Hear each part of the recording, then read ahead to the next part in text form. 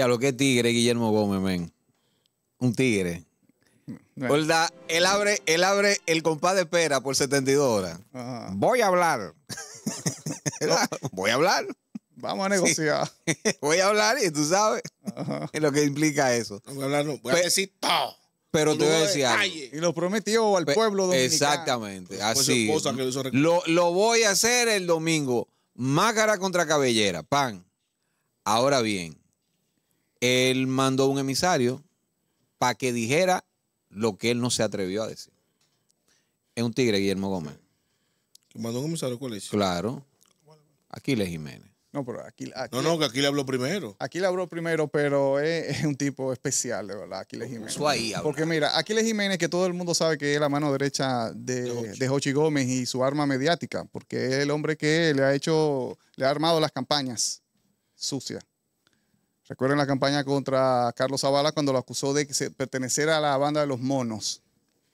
Fue aquí esa vaina. Fue, fue Aquiles Jiménez que Sí, fue, aquí, fue, Aquiles, eso. fue Aquiles que dijo. Que lo tiró, ¿verdad? Claro. Sí, que Entonces, Carlos yo Zavala era- que- que es un, es un- un- Pues la banda estaba desmantelada ya, ¿oíste? sí, Cuando lo estaba acusando. Tú sabes si era el mando que estaba aquí, supuestamente. que fue un error de él, ¿ah? ¿De Porque es, fue un error de Aquiles Jiménez. Claro, porque, que- Porque ese asunto- ya estaba desmantelada, todos estaban presos. todos. Carlos Zavala, que fue el que denunció las irregularidades con el Intran, con, con la licitación del, de, de Transcor Latam, él había hecho un media tour en los programas más importantes de este país y no le habían hecho, no, lo habían dado bola negra. Él fue donde Nuria y engavetaron esa vaina. Acento le, le dio una cobertura y ya, eso no pasó de ahí. No, pero Alicia fue, Alicia fue que le explotó. No, tampoco. Alicia fue a lo último que se metió, papá. No, ya dice exacto. Pero Y fue representando casi los intereses de Transcor LP. Sí, pero, pues, de- sí, pero ella, a partir de, de- del, del documental de ella, del programa de ella, que se, se metieron los- A partir, tú sabes de qué como nosotros aquí. De aquí, de la quinta pata, que Obviamente, se- entramos. se- se Digo, no, solamente nosotros solos, sino eh, no- no, eh, somos pueblo, Somos estos lados. pueblo, por aquí, por estos lados. Pero lo que nos llamó la atención a nosotros fue esa acusación de que hay un agente del- de la banda de los monos y que era Carlos Zavala, un hombre que tiene 20 años trabajando aquí con las redes semafóricas. Nosotros, a mí me llamó muchísimo la atención el perfil de Carlos Zavala. Dije, pero este tipo de película, o sea, 20 años infiltrado aquí. Y entonces ahí es que empezamos, ¿quién es Carlos Zavala? De hecho, yo creo que titulamos un- el corte, ¿quién es Carlos Zavala? Cuando nos dimos cuenta, ah, el tipo que acaba de denunciar irregularidades en la licitación de Intran, y entonces el hombre mano derecha de Hochi viene y lo acusa de eso. Una acusación demasiado fácil de demostrar que era un fake news. Un fake news, sí. Entonces, bien, ah, eso nos, nos llamó la atención a nosotros y empezamos a destapar muchísimas cosas. Y yo digo que es un tipo especial porque, señores, se están agarrando preso a todo el mundo que huela a Hochi, a Hochi Gómez. Y él es la mano derecha de Hochi Gómez. Y le dan un chance. Porque a él fueron a, a él fueron a allanarlo su casa. Y al final no, no, no, no le mandaron la, sí, y al final no le mandaron la orden de arresto, eh, la orden del juez. Es decir, le están dando un chance. ¿Y qué él hace? Lo primero que él hace, él va a un medio de comunicación tira todo. a decir todo. No, es que realmente no había val para arrestarlo a él. Pero ok, si no, pero ah, que no había, por Dios. No, porque es el caso Vamos. de Intran. Si fuera por el caso de Auris, a él está bien. Pero también, pero él debe saber que eso todo, todo, todo está en, la- en el tapete. O sea, no, pero que no, pero acuérdate que la acusación es por la irregularidad de Intran. también muy bien, pero lo- lo- Ahora es- el, lo- el sentido común te dice que recógete, hola. Sí. Eso es lo que dice el. No vayas a decir que todo lo que dijo, que lo vamos a decir ahora. Este señor fue allá, a- nuevamente, a acusar a Luis Soto de ser el. el, ¿Tú el- viste lo que le pasó a él? ¿A quién? A Aquiles Jiménez. ¿Qué le pasó cuándo? Que se le metieron en la casa, se metieron al vehículo y le pusieron. Sí, sí, lo dijo. Exacto. ¿Quién hace eso? Bien. Pero te digo que un tipo especial, él va y denuncia eso, sabe que él- le dieron un chance para no meterlo preso, porque preso lo podían meter, ¿ah? Como quiera. ¿Cuándo? Ahora. Ahora, pero en ese, en- pero, pero ahí pueden llamar hasta a Gonzalo Castillo en ese, en ese expediente que, que están haciendo ahora. Hasta Gonzalo. Castillo pueden llamar ahí. A Gonzalo como, Bueno. como, como- Bueno, llamaron al jefe de las Fuerzas Armadas de Danilo Medina, dime tú. No, pero él fue que firmó el contrato. Ajá. ¿A Gonzalo cómo? ¿Qué firmó Gonzalo? Bien. No, el Gonzalo, el avión que mandó Hochi a buscar al alemán. Ah, ¿tú no te sabes ese cuento? Pero eh, Ah. estamos hablando de, de Intran, es que tú estás ligando la carta con la garrapata. No, no, no, no. Estamos hablando cacho. Sigue, sigue, no, ¿verdad? estamos hablando del caso de Hochi, verdad, de. Hochi Gómez. Dale. que mandó a buscar unos drones para vigilar las elecciones del año 2020, unos drones Ajá. en Alemania, y como los aeropuertos estaban cerrados, los vuelos estaban li- limitados, no había vuelo, el señor le pidió el favor a su amigo Gonzalo Castillo que le prestara un avión para buscar al empresario alemán y traer todos los equipos que no pasaron por aduana, no pagaron impuestos ni un chévere. Entonces, por eso te digo que si ellos quieren llamar a Gonzalo Castillo. Entonces, Aquiles Jiménez, digo yo, pues, este señor que debería estar bajo perfil, ¿verdad? Viene y se presenta en el sol de la mañana, ya con el antecedente de lo que le pasó a Hugo Veras. Se presenta en el sol de la mañana y al otro día amanece preso. ¿Quién? Hugo Veras. Ah, sí, Hugo, Hugo, sí, sí. Entonces, Aquiles Jiménez acaba de decir que él no, él no trabaja en, en, en Transconlata, ¿verdad? Sí, Pero sí, tiene- sí, sí, sí. Él trabaja en Transconlata. Se lo dijo asesor, claro. Ah, el asesor. Asesor y, asesor y- y- tecnológico. y no trabaja con Aurix también. No, no, él, No, es- él es es- Él es Aurix, operativo. jefe operativo Sí, de Aurix. Aurix, Sí, Auri es el Claro. operativo. Ahora, él dice que en, en los, en el sistema semafórico, Trancoslata, pues, Trancos, eh, Lata puso un sistema de seguridad de que una persona que vaya a abrir la caja donde están las tarjetas de los semáforos, pues esas tarjetas automáticamente se queman, como si le hubiesen puesto explosivo ahí, por un asunto de seguridad. Pero bueno, tú, pues, tú puedes decir, ok, está bien. Pero se supone que los que tienen que tener acceso a eso es el Intran, Ujú. ¿verdad? Y que el Intran, en el momento que quiera, puede tener acceso a eso. Ah, Entonces, Pero a través de la llave, no forzar la, la puerta como estaba. bueno, pero se supone que el Intran debe tener la llave de eso. Supone. Sí, pero recuerda que Milton entró nuevecito Ajá, y ahí no fue el, el llave. conflicto. No, Y fue a aparentemente- forzarlo. No, porque acuérdate que la llave la tenía toda Hochi en, el Transcolatán. Es lo que te digo, que comete otro error Aquiles. Jiménez. Porque por, por argumentar el hecho de que no fuimos nosotros que hicimos el, el- el apagón, fueron, fue el Intran. Por argumentar eso, entonces se incrimina ¿Con qué?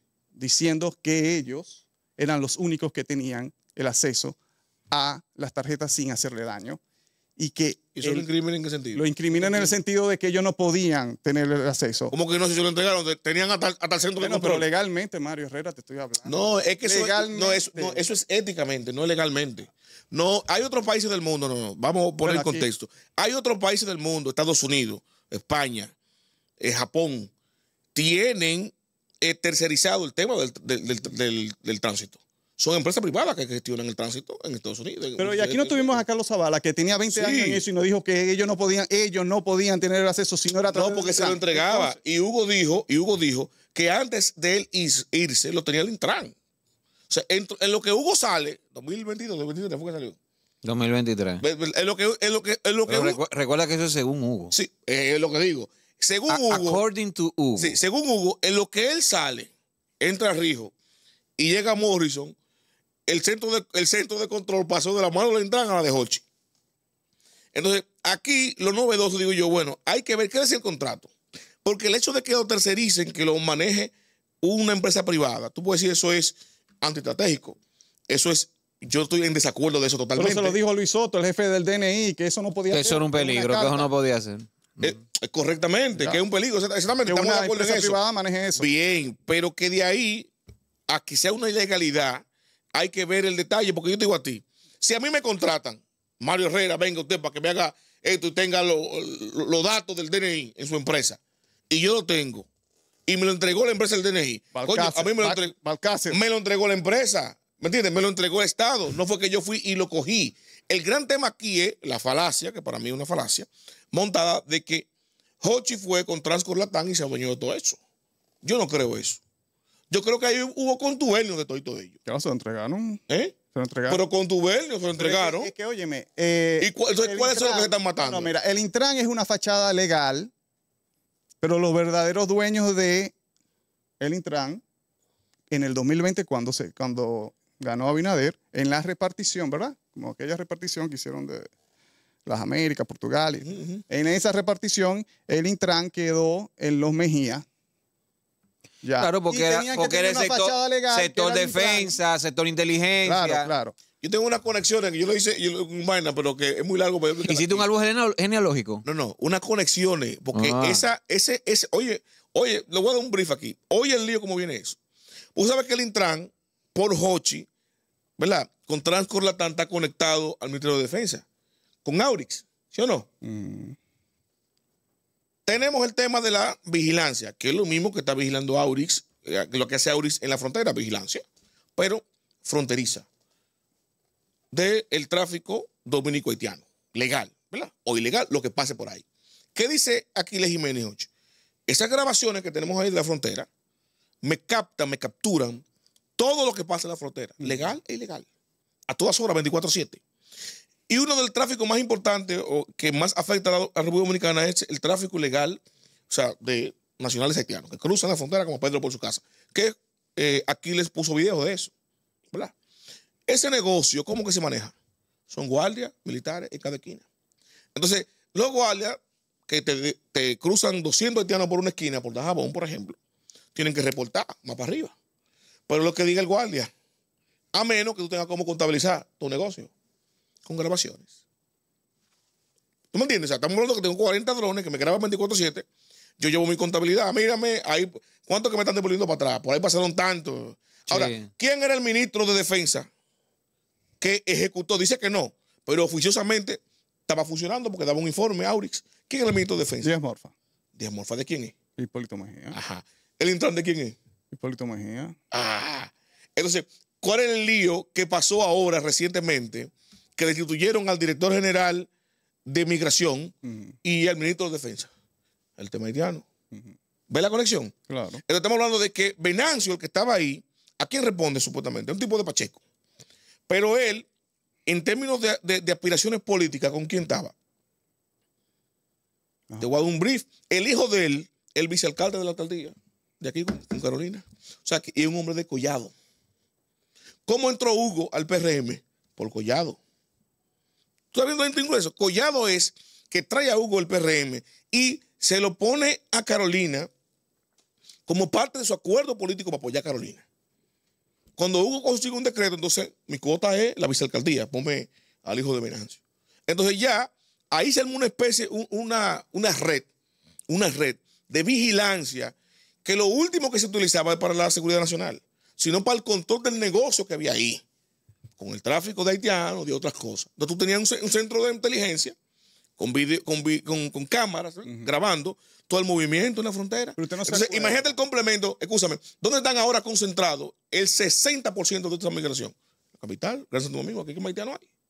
Imagínate tú con una red de, de, de video aquí. O sea, se estaban matando por ese control de ese sistema de, de cámara. Que lo puso aquí, lo estaba instalando Transcorlatán, que, supuesto, que para foto, fotomulta solamente. ¿Y qué dijo Soto? Esa vaina puede ser para otra cosa. ¿Qué- para mí, ¿qué, te- qué yo infiero con eso? Que él quería que esa cámara, independientemente de, se utilizaran para grabar, para vigilar. ¿Y qué dijo él en, en su, en su- en su cartica? Eso debería estar en manos del gobierno. ¿Manejado por quién? Por mí. Por el DNI. O por el ¿Y qué auguró? Mírame, por, por el eso- DNI eso con, puede- con su ley 1-24 Ah, ahí. Luis Soto fue, escucha esto, te voy a dar un dato. La- Luis Soto fue más certero que Nostradamus en la carta. ¿Qué dijo Luis Soto? Si tú lees la carta. Eso cualquiera puede ir y, y apropiarse de eso. Eso cualquiera puede ir y ocasionar un caos. en el- ¿Y qué fue lo que pasó? Exactamente lo que dijo Luis Soto. Coño, el tipo, o el tipo es un vidente extraordinario. O algo sospechoso pasó ahí. Está bien, pero ok, muy bien. Eh, el hecho de. va- va- vamos. a- sí, perfecto. No, y yo recuerdo los videos que salían y que, bueno, se hicieron un par de videos virales donde veías en el, de- en el monte en la noche, con cámara eh, infrarroja, Infrarrojas. a- el reguero de haitianos cruzando la frontera. De madrugada. Son esas cámaras. La- manejadas- la- la- la- la de- son la, la de lo- lo- los drones en la, en la sí, frontera. pero la de Aud- a- Audrey. Aurix, Aurix, Aurix, Aurix. Aurix. Bien. que lo manejaba eh, Aquiles y aquí también publicó los informes que él le mandaba directamente al presidente de la República. Para Luis Abinader, el- firmado por Aquiles eh, Jiménez, director operativo de Audix. Que Díaz Morfa y el nuevo ministro de Defensa han dicho que esa, Que nunca se ejecutó. que esa cooperación, porque ellos se cuidan de decir contrato, aunque Aquiles Jiménez dice que es un contrato, que esa cooperación nunca se, eh, nunca se ejerció. Pero entonces Aquiles Jiménez da un nombre de un, vice- de un vice- viceministro Y generales. en, en presidencia, encargado de, de coordinar la seguridad, que despachaba eh, los informes con él toda la semana, que era que entonces se lo llevaba al presidente, de nombre Martín Gari, Gari- Gari- Gari- Gavirondo. Gabirondo, ¿no? Da el, da el nombre. Y ese señor, Sí, eh, eh, Gabirondo. ese señor sí es, es vicepresi- es vice- Ministro. ministro Que a la razón de esto dice que suena que pudiera ser Ajá. el nuevo director del DNI. que debería dar declaraciones, porque estamos hablando de que el Estado ha dicho, ha negado que ese, ese contrato... Ah, bueno, pues entonces Jochi Gómez, Jochi Gómez aprueba ese nombramiento. Bien, pero miren, volviendo a lo- al asunto de los... eh, Aquella con esa gente, dice que lo traicionaron. Él y Jorge. Luis Polanco. Que Gavirón, Gavirón, ah, Gavirón es parte de la, de la trama. No, porque él despachaba con, con Gavirondo, supuestamente, y, y si- duró un año reuniéndose con Jorge Luis Polanco, el, el- el- el abogado del presidente, para buscarle un bajadero Ah, jurídico a este lío, para que no explotara como explotó ahora. ¿Verdad? Un bajadero jurídico. Mira, vamos a declarar ahí el contrato inviable, una sanción, tú devuelves el dinero, te lo damos. por- y se- Y nos quedamos con Ah, pero todo. era que estaba arreglándole su mundo. Supuestamente. Pero, Bueno, Jorge. Luis, Bueno, supuestamente. Pero, Jorge Luis, entonces dice Jorge que Jorge Luis es, Bueno, pero- junto con Morrison, el responsable del apagón. Dice, dice, dice, dice Jorge. Entonces me hicieron un lío para meterme en mi medio, me están enseñando a mí solo cuando somos todos toros, todos vacas. Me van a meter medio, pues yo digo todo. Entonces empieza a publicar los, los chats, a publicar los contratos, a publicar los informes, a publicar las cartas. Un desorden grandísimo. Bueno, señores, esta es la quinta pata. Mario Herrera, José Maracayo, Edwin Cruz. Recuerda suscribirte, activar campanita, darle a me gusta para seguir creciendo y compartir. Recuerda que estamos en el canal 503 para el Gran Santo Domingo de Win TVO. Eso es Siembra TV. De 1 a 2 de la tarde, de 8 a 9 de la noche, la retransmisión. Y también nos vemos en las principales eh, cableras del Cibao Central en sus canales de, de esos sistemas.